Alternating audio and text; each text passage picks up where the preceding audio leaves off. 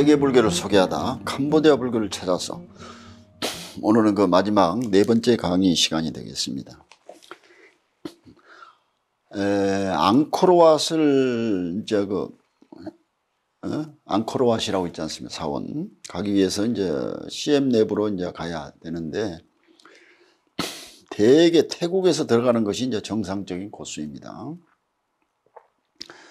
뭐 요즘은 베트남에서도 이제 가기도 합니다만은 지금 코로나 때문에 다시 또 이제 그 코로나가 이제 끝나면은 또 이제 많은 그 성지 순례를 가겠지요. 전 회에서 이미 앙코르 왓에 대해서는 대강 이제 소개를 했지만 몇 년 만에 제 얘기입니다. 이제 코로나 터지기 전에 어 몇 년 만에 이제 다시 찾은 CM 립, CM 립은 앙코르왓이 있는 그 지역이 시엠립이거든요. 시엠립. 그 당시에 이제 새로, 새롭게 이제 변모하고 있었고, 관광 그 방문객들로 이제 넘쳐나고 있었습니다. 몇 년 전과는 전혀 다른 시가지의 모습을 하고 상당히 발전을 이루고 한 상태였습니다. 캄보디아 불교는 뭐 그동안 정치적 이유로 거의 뭐 아사 상태에 놓여 있다가 이제 다시 급속하게 부흥하는 캄보디아의 불교를 이제 보고 격세지감이 들었습니다. 이제 닥터요, 어, 대만 그 대만 분인데 그 대만 이제 그 대학의 교수 그 요라고 있습니다. 요, 요 박사. 나는 태국의 그 수락 시바락사 선생과 한담을 마치고 바로 이제 공항으로 향해서 CM 립행 비행기에 이제 탑승을 했죠. 승객 대부분이 서구 사람들이었고 서구인들은 문화의 유적을 찾는 것을 여행의 제1 과목으로 생각하고 다음은 이제 현지 문화에 대한 이해 또 음식과 레저를 즐기는 쪽입니다. 우리하고 조금 그 관광하는 목적이 좀 다르지요. 말하자면 왕코르왓을 찾는 서구 서양인들의 그, 그 이제 이제 숫자가 에, 아시아인을 오히려 웃도는 것 같아서 그 열기를 이제 짐사, 짐작할 수 있었습니다. CM리 국제공항에 내려서 호텔로 향하면서 젊은 그 택시 기사와의 대화는 매우 인상적이었습니다. 그러니까 몇 년 전 얘기입니다, 이거는. 그 당시 34세인 상황이라는 이 청년은 그야말로 캄보디아 현대사를 말해주는 그 상징 그 자체였습니다. 킬링필드 직후에 태어난 그는 교육을 받을 수 있는 기회를 놓쳤고 이제는 2세들에게는 교육의 기회를 이제 줘야 한다면서 일의 보람을 느낀다고 했습니다. 영어 회화는 자연스럽게 익혀서 간단한 의사소통은 이제 문제가 없었고 CM립 시간이나 몇 년 전과는 완전히 다른 모습으로 변하고 있었고 관광도시 분위기가 넘쳐나고 있었습니다. 오후에 도착했기에 당일은 일단 호텔에서 쉬기로 하고 다음 날의 일정은 앙코르왓과 바이온 사원 등을 보고 저녁에는 앙코르의 미술한 쇼를 보기로 했습니다. 호텔에는 의외로 서구인들이 많았고 한국 식당도 있어서 우리나라 관광객도 제법 오는 것 같고 특히 불자들의 성지, 성지, 성지 순례 코스가 되어가지고 한국 불자나 일반인들에게도 인기 있는 관광지로 급부상했습니다. 닥터 요한은 모처럼 한국 대만 불교에 대해서 담소를 나누면서 저녁 식사를 하고 일찍 쉬기로 했습니다. 아침 일찍 움직이기로 해서 앙코르왓 앙코르왓 사원 입구에 갔더니 이미 많은 사람들이 줄을 서서 기다리고 있었습니다. 몇 년 전에는 몇 년 전과는 이제 다른 풍경이었습니다. 입장료 20불이면 그 당시 2만 2천 원인데 결코 적은 돈이 아니고 연간 수백만 명이 찾는다고 하니까 관광 수입도 대단하다고 하겠습니다. 입장 수입뿐만이 아니고 CM립에 그 떨어뜨리는 달러가 만만치 않다고 이제 보고 캄보디아의 경제에도 플러스가 되는 황금알을 낳는 달러 박스라는 인상을 받았습니다. 지금 뭐 코로나 때문에 한 2, 3년간, 2년간 지금 불황, 불황이겠죠. 어, 그러나 이제 앙코르와 사원 주위는 벌써 활- 활기에 넘치고 몇 년 전 얘기입니다. 이 많은 인파로 넘쳐나는 그야말로 관광붐을 일으키고 있었습니다. 관광들의, 관광객들에 대한 끈- 깔끔한 관리와 운영에는 아직 미흡한 것 같고 에, 앙코르 사원 관리 보호 그 자체도 아직은 더 조직적이고 체계적인 관리 운영이 요청된다고 이제 느꼈습니다. 에, 앙코르왓은 처음에는 힌두교 사원용으로 건립되고 나중에는 불교 사원으로 사용됐던 거대한 종교 건축물입니다. 이 거대한 건축물을 세운 분은 수리야 바르만 수리 수리야 바르만 2세 왕입니다. 힌두교의 비슈누 신을 찬탄하기 위해서 이 건축물을 지어서 이제 헌납했는데 남인도 힌두 문화가 크메르 왕국에 깊이 스며들었던 것입니다.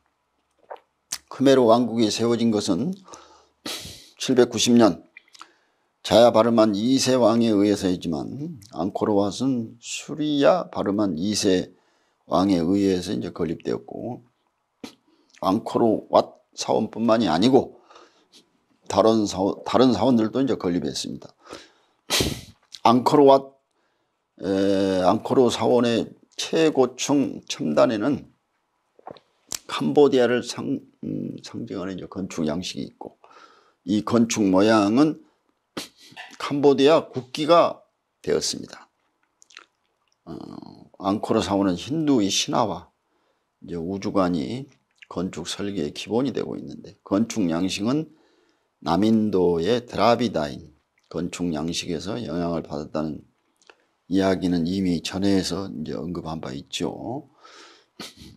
하지만 남인도의 드라바 드라비다인 건축 양식을 전적으로 모방한 것은 아니고 크메르 양식을 가미해서 앙코르 양식의 독특한 건축술이 탄생되었습니다. 에, 앙코르왓을 건립하는 데는 건축 설계나 기술적인 분야는 남인도의 이 엔지니어들에 의해서라고 하지만 중간 및 하층 인력은 크메르인들이었는데 40만 명이 동원되었다고 하니 참으로 놀라운 일입니다. 앙코르왓에 대해서 소개하려면 상당한 양의 원고가 필요합니다.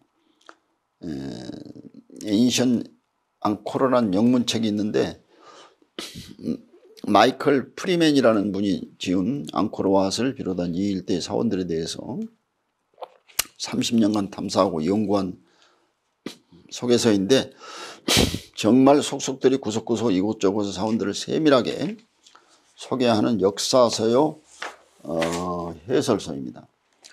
아, 앙코르와 사원을 둘러보노라면 정말 인간의 힘이 얼마나 무서운 것인가 하는 것을 알게 됩니다.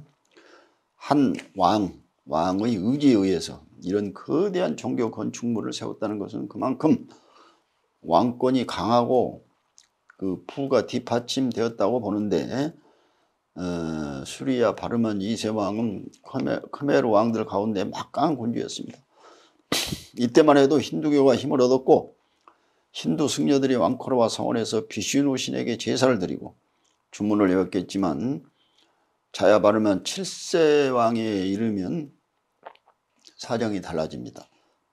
자야 바르만 7세 왕은 1181년에 등극해서 1218년까지 거의 40년간 왕이 있었는데 그는 영토를 넓히고 힌두 사원도 건립했지만 앙코르 톰이란 신도시를 건설하고 불교 사원인 불교 사원인 바이온을 건축한 것입니다. 앙코르 톰 신도시에 세워진 사원으로서 이 사원은 인도의 대승불교를 받아들였습니다.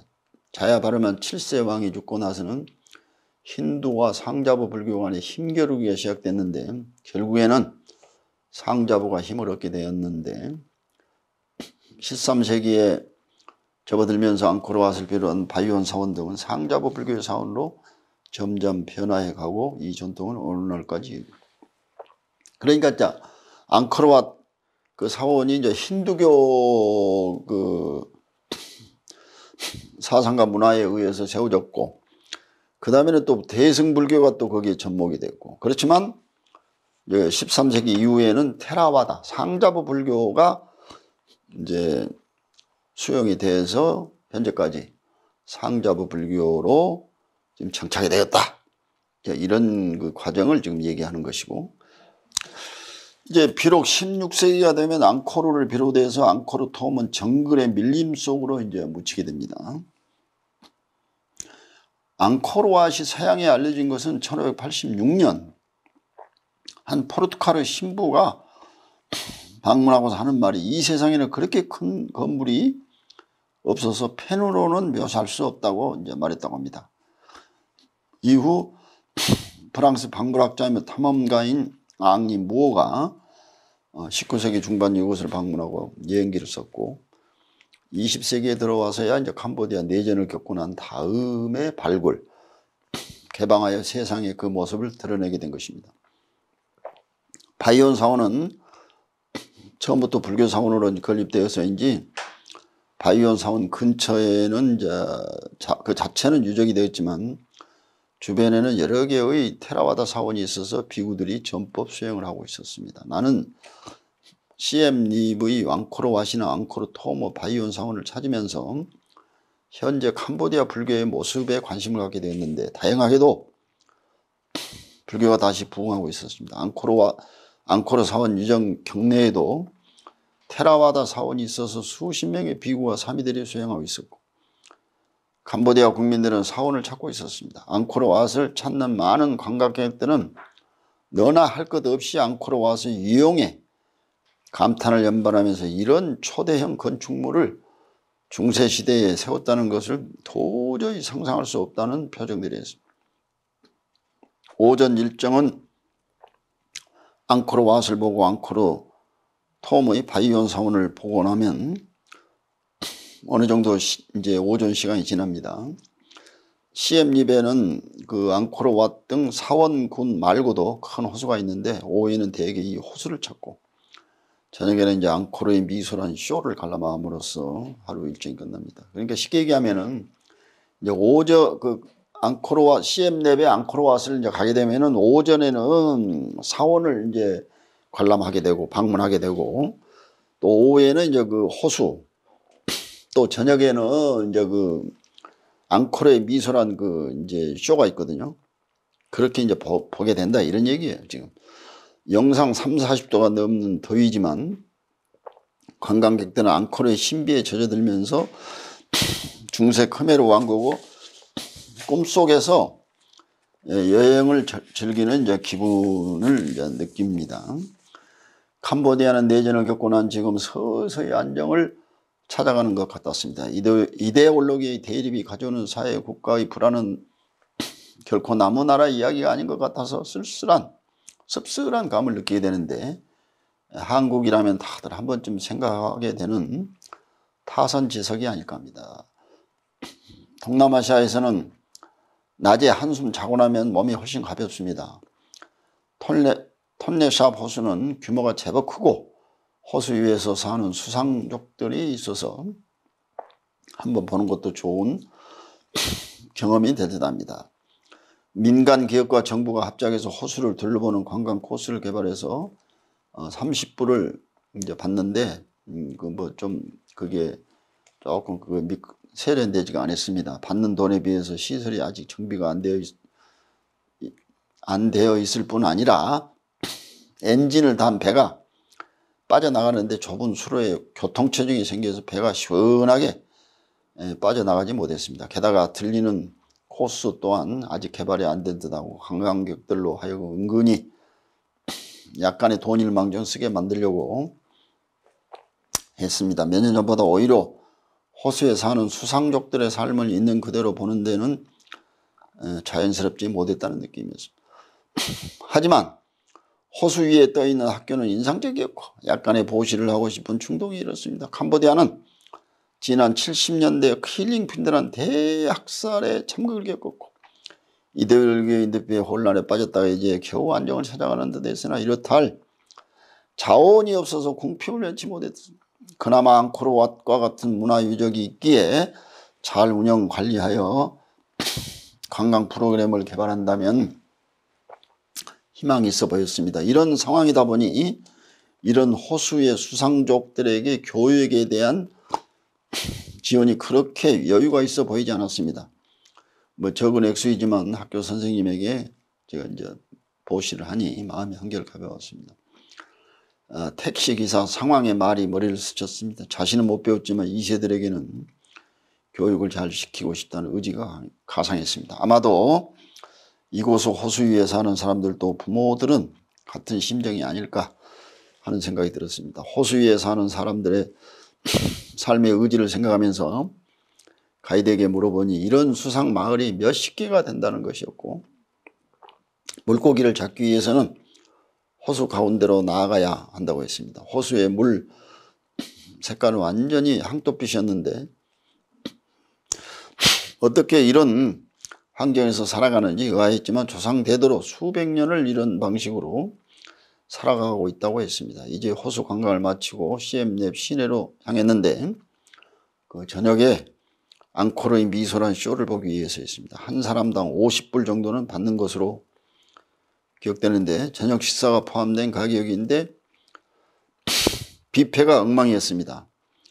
닥터 요와 나는 음식을 먹고 난 다음 밤에 배가 아파서 설사를 할 정도였습니다. 식사는 좋지 않았지만 쇼는 그런대로 볼만했습니다. 크메르 왕국 시대의 번영과 영화와 사람들의 평화로운 삶을 재현해 보는 보였는데 캄보디아의 종교사도 포함되었습니다. 힌두에서 마헤나 그리고 마지막에는 테라와다 불교의 비구들이 대거 등장해서 캄보디아인들의 삶의 의제가 바로 불교 사원임을 은연중 강조하는 것으로 쇼는 막을 내렸습니다. 이게 무슨 얘기냐면 그러니까 이제 캄보디아가 그 종교적으로 말한다면 처음에는 힌두교 그 다음에는 또 마하야나 대승불교죠.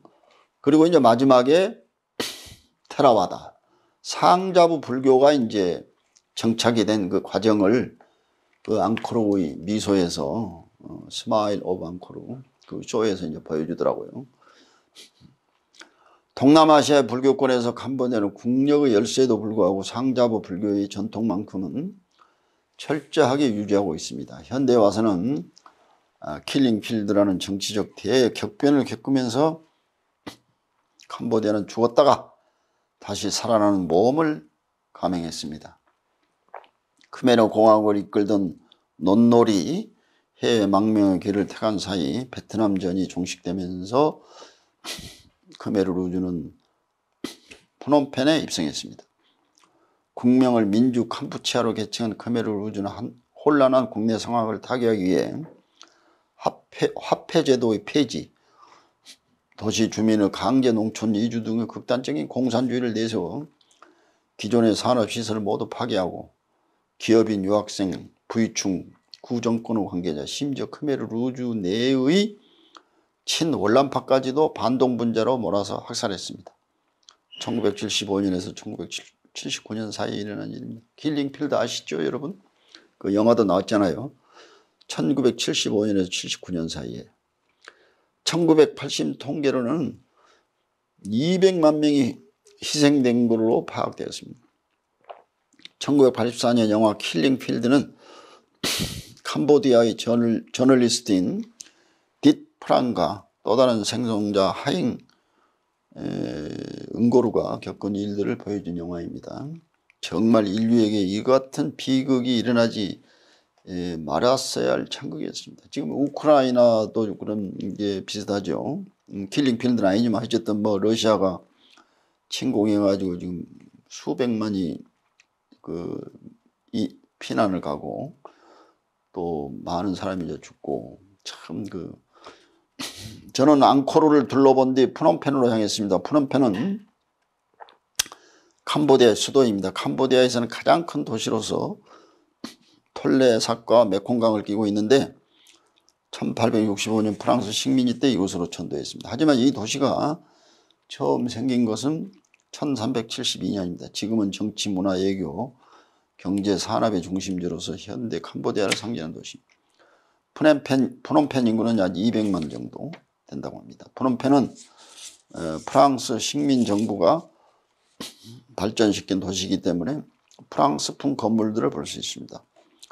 프놈펜이라는 어원은 펜의 언덕 이란 뜻이 있는데 왓 푸놈이라는 사원에서 유래한다고 합니다.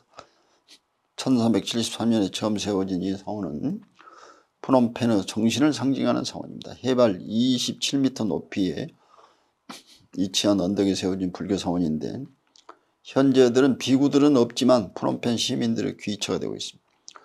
호텔의 예장을 풀고 강둑길을 따라서 조금 걸어가니 왕궁이 나왔는데 캄보디아 양식으로 지어진 건물이었습니다. 왕궁 옆에는 몇 개의 사원이 있었고 불교대학이 있었습니다. 평소 친분이 있는 부학장인 어, 소반 나타나 비구스님을 만나 뵙고 캄보디아 불교에 대해서 이것저것 정보를 듣고 캄보디아 불교협회도 찾아서 캄보디아 현대 불교에 대한 말씀을 들을 수 있었습니다. 그 이제 지금 그 부학장 어, 소반 나타나 비구스님은 지금 학장이 되었죠. 학장. 캄보디아 내전에 내전 전에는 6만 명의 비구들이 있었는데 킬링필드 이후에는 불과 1000명도 안 되는 그야말로 불교가 이제 초토화된 상황이었다고 합니다.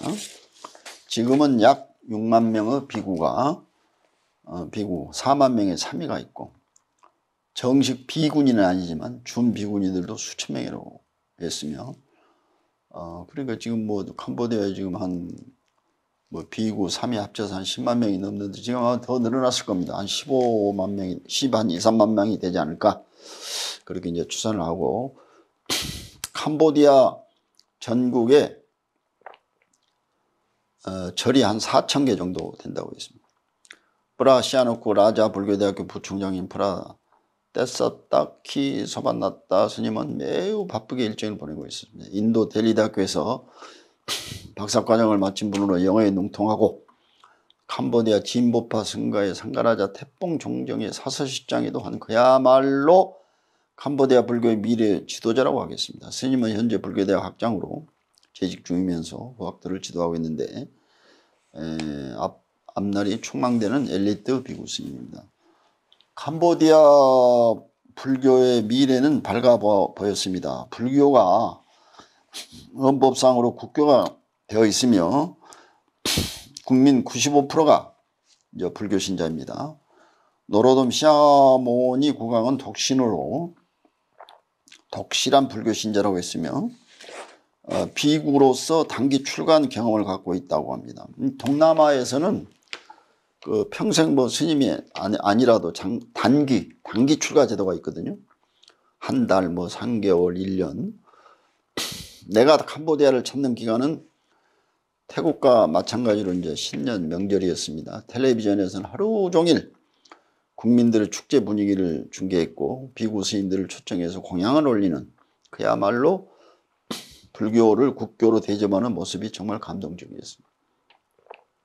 캄보디아 불교는 그동안 엄청난 시련을 겪었습니다. 카메르 왕은 불가사의 앙코로 와서 걸렸고 또한 바이온 불교 사원을 있었습니다. 처음에는 힌두교를 받아들였지만 나중에는 불교를 받아들였고 결국에는 테라와다 상자부 불교가 지금 정착되었습니다. 예, 그렇지만 프랑스 식민지를 겪으면서 불교는 침체의 길을 걷게 되었지만 캄보디아의 비구들에 의해서 불교는 지켜졌고 프랑스로부터 독립한 캄보디아 불교는 제자지를 찾는 데으나 이대의 올레기에 휘말려 내전을 겪게 되고 킬링필드라는 동족이은 대량 학살이 자행됐던 것입니다. 인구 800만 명 가운데 200만 명 이상이 희생됐다고 하니 정말 기억하고 싶지 않은 캄보디아의 현대사입니다. 에, 캄보디아를 몇 년 만에 찾으면서 많은 감동을 받았는데 불교가 급속도로 부흥하고 있었고 특히 상자부의 전통이 강해, 강하게 자리 잡고 있었습니다. 캄보디아 불교는 태국, 라오스, 미얀마, 실론과 더불어서 상자부 불교권의 강한 연대가 되리라고 생각합니다.